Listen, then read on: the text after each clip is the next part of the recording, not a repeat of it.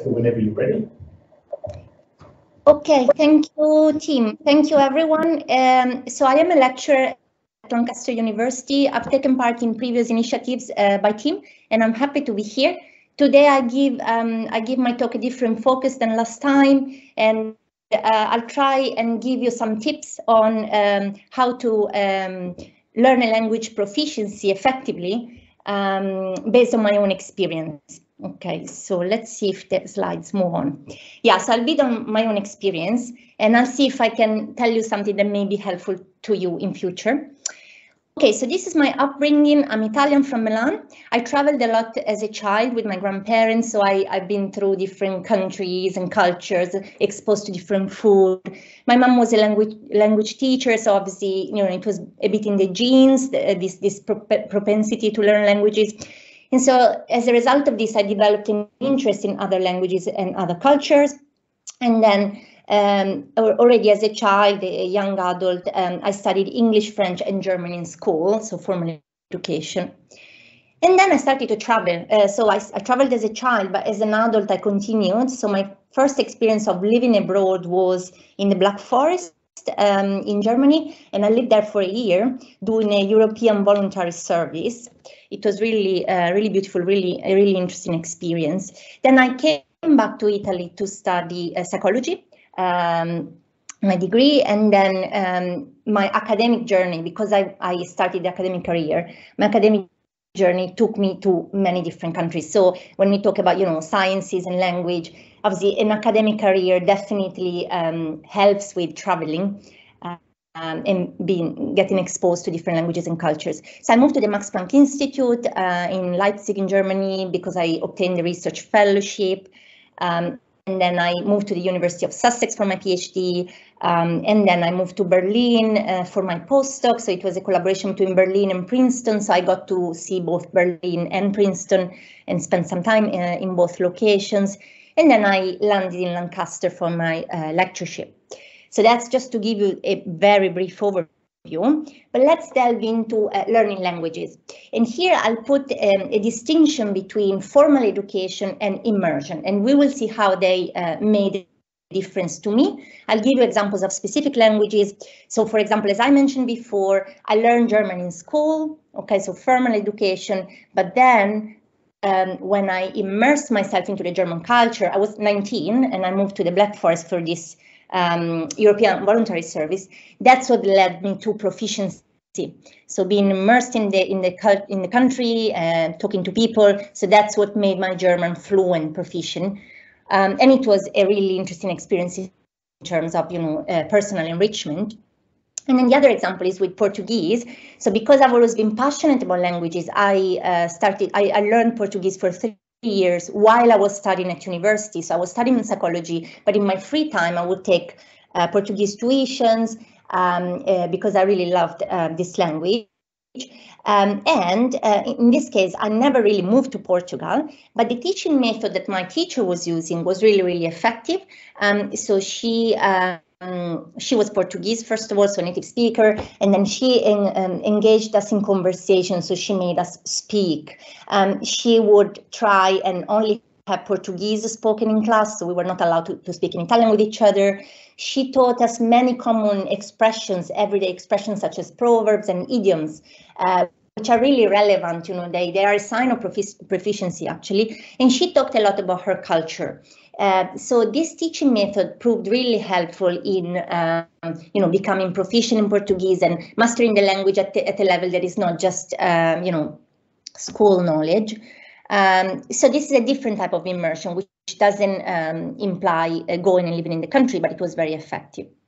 And then uh, if my slides move, uh, and then the final example that is relevant because it's uh, English. I had very good school English education. Um, I, I, my high school was specialized in languages, so I had quite good tuitions. We had conversations, uh, conversation classes alongside grammar, etc. And my uh, scientific English was also quite good because from an early um, uh, age, um, um, I mean, as a young adult, I, I, went to conferences, scientific conferences. So my my uh, scientific English uh, to talk about my research was quite good. However, uh, my English was limited. I mean, it sounds uh, silly, but it was because uh, I didn't have this fluency in conversation. And what made it was really um, coming to the UK for my PhD, getting immersed in the country, and that made me uh, proficient. Okay, so these are a few examples from uh, my own experience. And so here I try to put together a few tips uh, in case you find any of them uh, helpful. So nowadays we have um, apps that uh, allow us to, to start learning a language. And I think it's quite a good idea to start with, with apps to start learning. And uh, because you get a sense, you get a feel for the language, you see if you like it. Um, so it's quite a good idea to just get started very, very easily and simply with, with an app. Um, it's also a good idea to learn from books on your own. Um, so it's all good stuff. But at some point, if you decide you really want to learn a language uh, in more depth, it's really helpful if you can take classes with an actual teacher, okay? Because there's interaction and, you know, there's, you know, lo lonely uh, learning uh, is, is a bit more difficult because you don't get feedback. Um, and then um, that's not enough in my view. So in, in, on, in addition to, to taking classes, um, it's good if you can find opportunities to um, have conversation and believe me, conversation doesn't, um, it doesn't matter how proficient you are. Uh, in Germany, there is this concept of tandem partner where uh, you pair with someone, for example, I'm Italian, I want to learn English, and I pair with an English person who wants to learn Italian. As long as we are at a similar level of proficiency, either both beginners or both intermediate, it will work. Okay, so if you're a beginner, the conversation will be simple. And having a conversation in the two languages uh, with the native speaker of the language you're learning is really, really helpful. So, um, so find opportunities to actually practice the language you're learning is key. Okay, and obviously, I mean, the obvious tip is actually, you know, if you can move to the country where the language is spoken, that's absolutely the best, uh, the best type of immersion. And so it's the best way to learn a language and also to learn about a different culture. Um, and then I have, you know, it's a very short talk, so I have some take-home messages uh, based on my experience. So no matter how proficient or not you become, don't be afraid.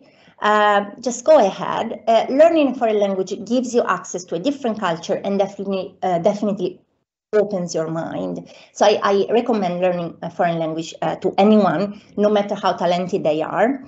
And this uh, opening your mind works in ways that you cannot get uh, by using a lingua franca to communicate. So you can go to, um, I don't know, Spain and, and talk in English and learn about Spanish culture by talking in English, but it's not the same as communicated in the um, in the language of the country you're visiting.